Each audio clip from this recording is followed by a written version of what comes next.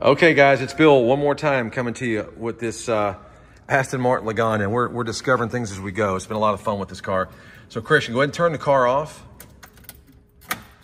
Lights on. We got the lights on, and the guy's telling us the lights are on. I've heard him say low fuel as well, although it's got a full tank of gas. So, that's pretty cool. I don't know what else he says, but he tells us that the lights are on. So, there's a little warning there, which is cool. Um, go ahead and turn the radio on, Christian.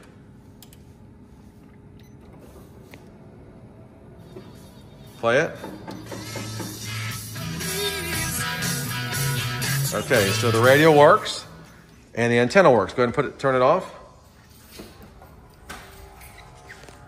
And turn it back on.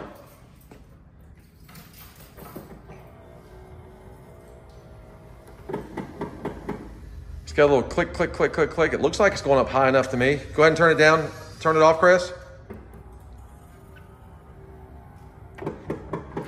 All right, and one thing we did forget to check were the reverse lights. So go ahead and let's put it put it in reverse. There we go. So there it is, guys. Just a little more demonstration to to bring credibility to, to the car, so you know what we got here. And uh, go ahead and let's play with that phone. I, I, I'm sure it's it's got power, right? We're not calling nobody. Oh man, I'm- I wonder if Mr. Forbes has some numbers in there. I wonder if that would be cool if there was some saved numbers. I wonder how, if we could figure that out. If, is this a phone that has numbers that you could actually save? I wonder. Or Snapchat. Yeah, so so yeah, there's the original old school car phones, which is cool.